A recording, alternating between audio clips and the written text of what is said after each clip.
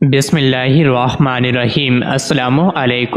रोज़ाना वाक़ात सुनने के लिए इस चैनल को सब्सक्राइब करें। एक दफ़ा का ज़िक्र है, यहूदियों के किसी के घर शादी थी वो लोग अलैहि वसल्लम की खिदमत में आए और अर्ज़ की, ए मोहम्मद सल्लल्लाहु अलैहि वसल्लम, हम आपके पड़ोसी हैं, हमारा भी कुछ हक़ है, इसलिए हमारी दरख्वास्त है कि आप अपनी दख्तर फातमा रज़ी अल्लाह को शादी में शिरकत के लिए भेज दें, ताकि उनकी बरकत से अज़म अरूसी की रौनक में इजाफ़ा हो।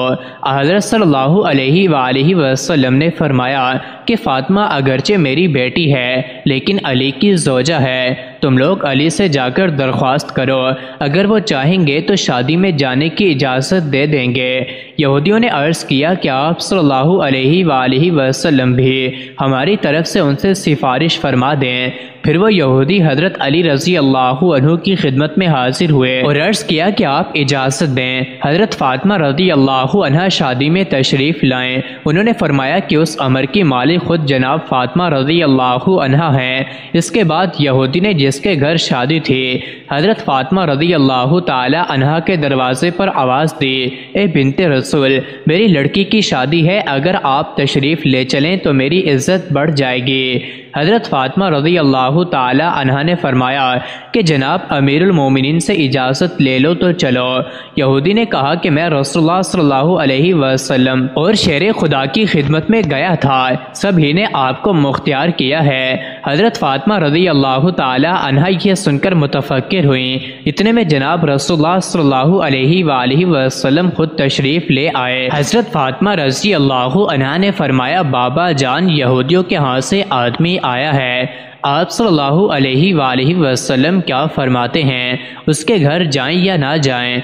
आप सल्लल्लाहु अलैहि वसल्लम ने फरमाया, फातिमा तुम्हारी मर्ज़ी है। हज़रत फातिमा रज़ी अल्लाह ने अर्ज़ किया, अबू जान आपकी बहुत सख्त तोहन होगी, क्योंकि उनकी औरतें उम्दा और नफीस लिबास जेवरात से मुजैन होंगी। और मेरे पास वही फटे पुराने कपड़े हैं, जिसमें जा बजा खुरमे के पेवंद लगे हैं। रसोल्ला वसल्लम ने फरमाया, ए बेटी, इसी हालत में जाओ जो मर्सी पहनो। चुनाचे सईदा फातिमा रज़ी अल्लाह जाने को तैयार हो गई। उधर यहूदियों ने अपनी औरतों को जेवरातों मलबूसात से खूब आरास्ता किया।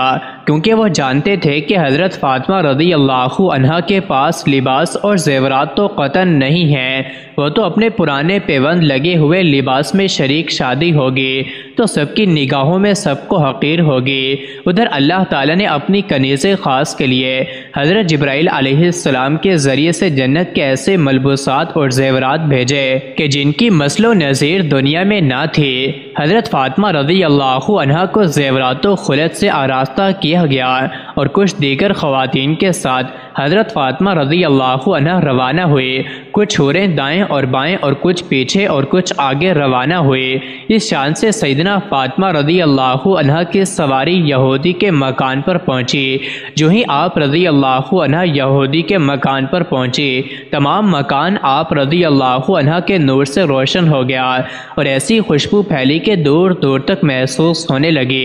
ये तजम्मुल वक़ार देखकर तमाम यहूदी औरतें बेहोश हो गईं। थोड़ी देर के बाद सबको होश आया, मगर दुल्हन को होश न आया। लाख तदबीरें की मगर सब बेसोच साबित हुई। देखा गया तो मालूम हुआ कि रूह कफीसन अंसरी से परवास कर चुकी है।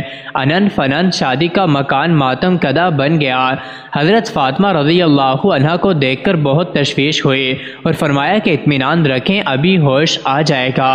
इसके बाद आप रज़ी अल्लाह ने दो रकत नमाज़ पढ़कर दुआ के लिए हाथ बुलंद किए और कहा कि मेरे अल्लाह में बिनते रसूल सल्लल्लाहु अलैहि वसल्लम मेरे अल्लाह, मेरी इज़्ज़त तेरे हाथ में है। तमाम लोग यही कहेंगे कि सैदा फातमा के आते ही दुल्हन फौत हो गई। खाना शादी, खाना गम बन गया। कुछ देर न गुजरी थी कि आप रदी अल्लाह की दुआ कबूल हो गई। और दुल्हन कल मैं शहादत पढ़ती हुई उठ बैठी और कहने लगी, मैं शहादत देती हूँ। कि अल्लाह एक है, न उसका कोई शरीक है। मोहम्मद मुस्तफ़ा सल्लल्लाहु अलैहि वसल्लम हक़ रसूल हैं और हज़रत फ़ातिमा रज़ी अल्लाह उनकी दख्तर हैं। आप रज़ी अल्लाह मुझको मज़हब इस्लाम की तालीम फरमाएँ और इसी तरह सबके दिल से वो औरत मुसलमान हो गई हज़रत फ़ातिमा रदी अल्लाह का ये एजाज़ देख कर तमाम यहूदी मर्द ख़वान मुसलमान हो गए और बड़े इज़्ज़त के साथ आपको घर से रुखसत किया। सारा माजरा हजूर अक्रम वसल्लम को सुनाया गया। तो ये सुनकर आप सल्लल्लाहु अलैहि वसल्लम ने अल्लाह का शुक्र अदा किया। मज़ीद ऐसे ही वीडियोस के लिए चैनल को ज़रूर सब्सक्राइब करें।